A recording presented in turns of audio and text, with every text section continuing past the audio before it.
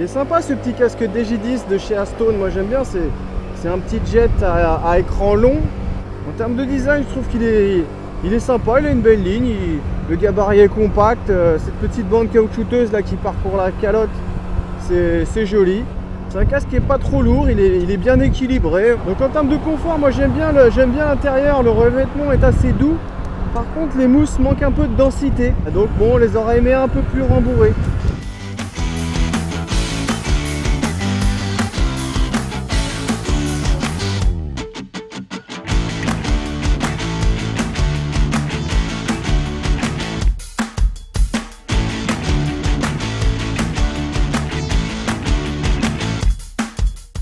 La sonorisation est assez bonne, je constate pas d'infiltration d'air.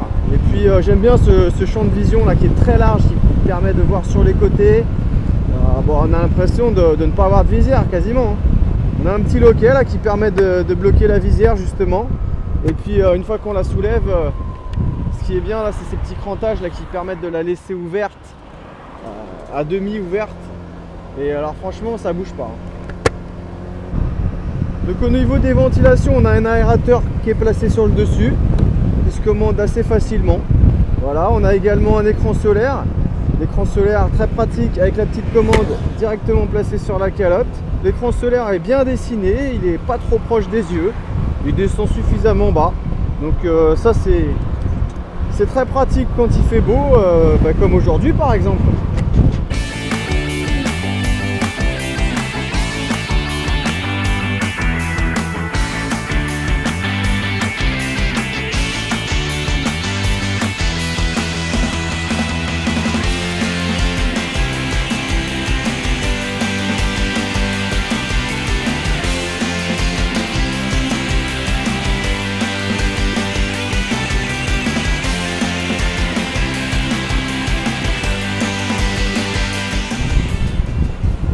Jet très sympa pour euh, à peine plus de 100 euros.